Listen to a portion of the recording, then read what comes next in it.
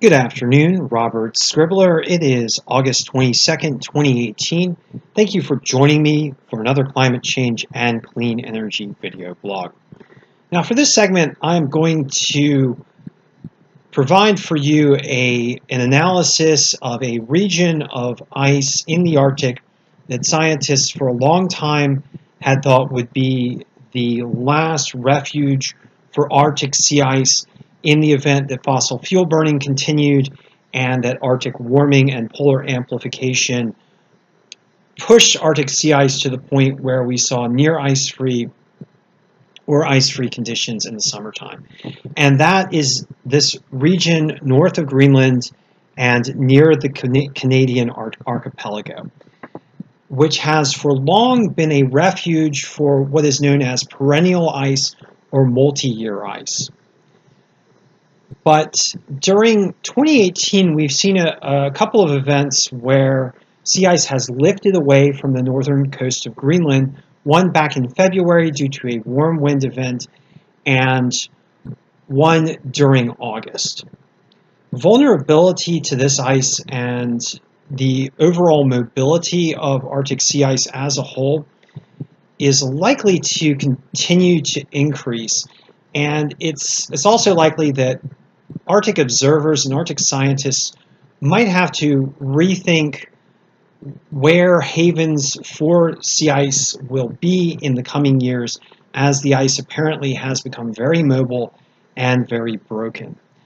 So what I'm going to do for you is, is go ahead and advance this NASA Worldview satellite shot to the recent day. This, this present satellite shot is showing July 29th. I'm going to go ahead and advance it so you can see how much sea ice has thinned and lifted away from the northern coast of Greenland and from this section of the Canadian archipelago. So moving into early August, by August 5th, we see that sea ice has already lifted away from the north coast of Greenland and that there is considerable thinning of sea ice north of the Nares Strait, as well as some some polynyas beginning to open up north of the Canadian archipelago. As we advance into the second week of August, the ice thins and lifts even more, so that by August 13th, we have an extensive zone of open water north of Greenland, with the North Nares Strait region considerably broken and a, a very large Polynya opening up north of the, the eastern Canadian archipelago. By the third week of August, the breakup is even more extensive, such that by August 19th, a large zone stretching from about, let's see, 93 degrees longitude to let, let me check this again. Yeah, 93 degrees longitude to around 14, 13, maybe 10 degrees longitude is either showing open water, large sections of open water, or considerably broken and thinned sea ice.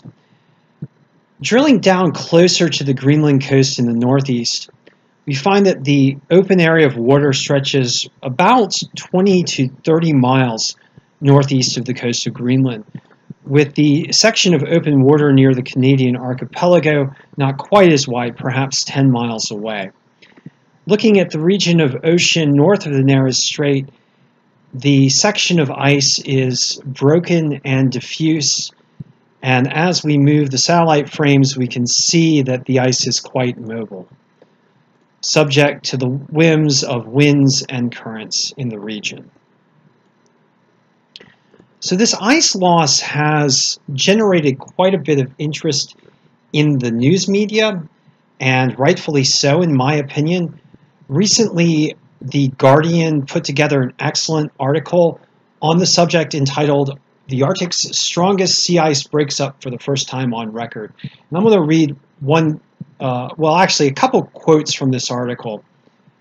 But at first I'd like to note this excellent graphic showing sea ice volume losses based on Polar Science Center measurements with sea ice volume considerably lower now than the 1980s. So it's worth noting that Walt Meier, a senior scientist at the U.S. National Snow and Ice Data Center, notes that the sea ice has nowhere else to go in this region typically, so it piles up. On average, it's about four meters thick and can pile into ridges that are 20 meters thick or more. This thick compacted ice is generally not easily moved. So it provides some context for this region of ice now that, that has moved and has broken up. And I'm going to go on just to continue this quote from Walt Meier, which is which is is critical, which it, I think provides a, a critical context. He notes that, however, that was not the case this past winter in February, March, and now the ice is being pushed away from the coast by the winds. It's worth noting that, that a number of researchers ha have found this, this particular event to be rather scary, as Thomas Lavergne noted, he, who's a scientist at the Norwegian Meteorological Institute. So, so what's ongoing is is is pretty unusual and perhaps or likely unprecedented.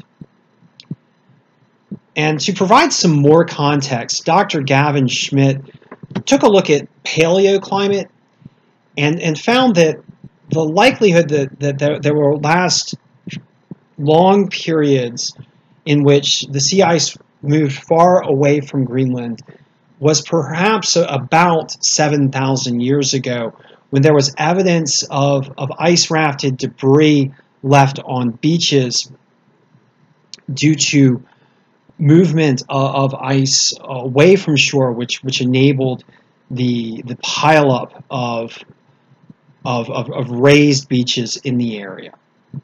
So, so there's some indicators that this hasn't happened at least for about 7,000 years. And it's likely that as the Arctic continues to warm, we're, we're, we're going to see conditions that weren't seen since the Eemian, which is about 115, 120,000 years ago. And if we continue to burn fossil fuels, the Arctic context will tend to shift more radically toward the Paleocene. So some very severe context for sea ice loss. This was a region of ice that was seen as, as typically very stable, but unfortunately has become rather unstable during recent weeks and months driven by polar amplification due to human-caused climate change and polar warming overall. Before I, I, close, I'd just like to leave you with this graphic from Zach Labe.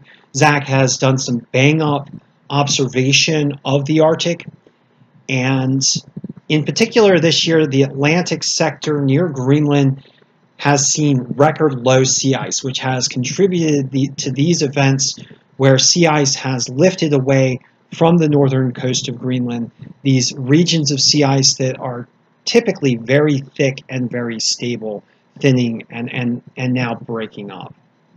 So new record lows for a specific section of the Arctic, which in many ways has been a keystone to Arctic ice stability, Arctic sea ice stability in particular.